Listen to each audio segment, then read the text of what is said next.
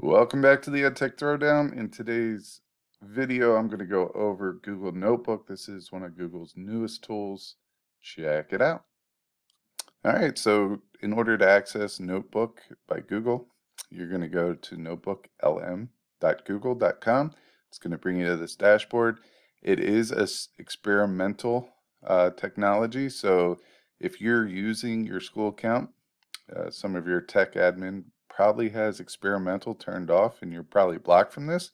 But if they don't want to turn it on, which I don't blame them, you could go to your personal account, which is what I'm doing right now, and I can access it fine. So here's a little intro to what Notebook LM is. Down here are some example notebooks. I'm going to go ahead and create one with you real quick.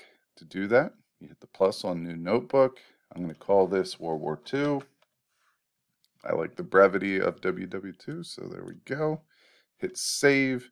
Over here, we could add resources. Resources are anything from your Google Drive. You could copy and paste text, or you could use PDFs. And then here are where your notes are going to go. How do you get a note, you might add? Well, you asked a question. And the whole thing about this is it's going to use AI for the question that you ask. It's going to pull answers from the resources that you provide and that's going to turn into notes. So I'm going to go ahead here. I'm going to add two PDFs real quick.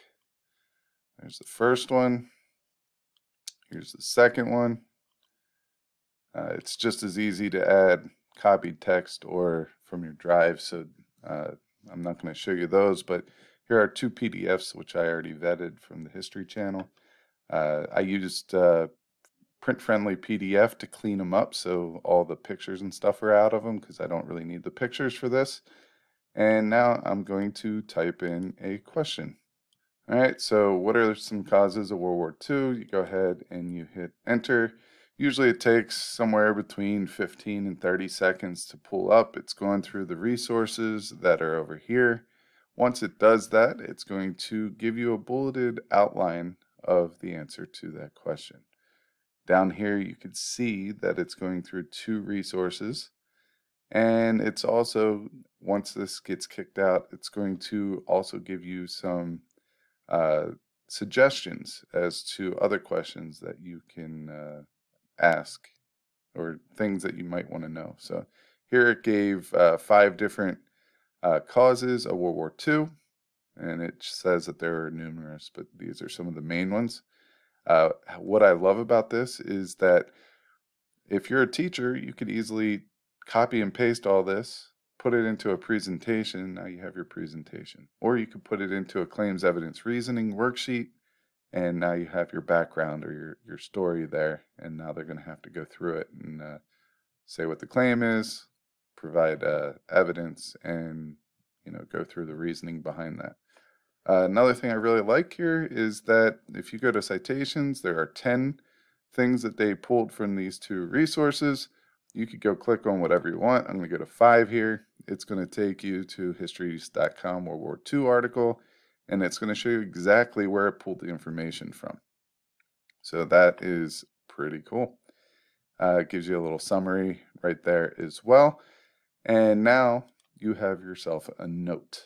All right, you could take this note, we could add a new note, uh, we could click on some of the other follow-up questions that it might ask you.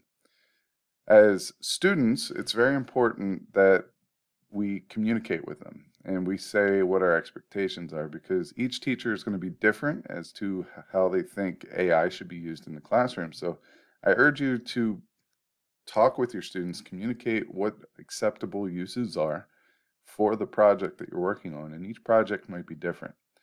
And uh, this is one of the uses cases of this that I saw recently. Is uh, there was a teacher uh, we were running up against the end of quarter two, and they really wanted to give them time to do a research paper, the first crack at a research paper. So what they said is, uh, I'm going to give you five articles, and I'm going to allow you to use this uh, tool, the notebook, and what you're going to have to do is come up with a thesis statement and you can get all the notes and stuff that you want from the notebook but you can't copy and paste anything from the notes you have to put it in your own words you have to do your internal citations and your regular citations so they shortened down the length of time it would take for them to write the research paper by helping them get their organized uh, research done quicker.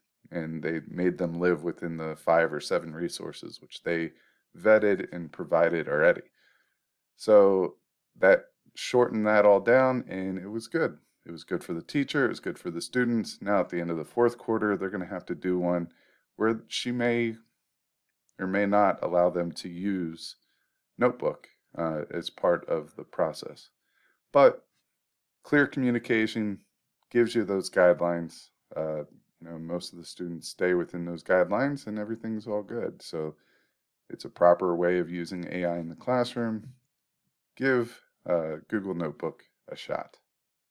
If you like today's content, make sure you smash the subscribe button, hit like, and also go over to our website for more content like this. It's the edtechthrowdown.com. Check out the link in the notes down below.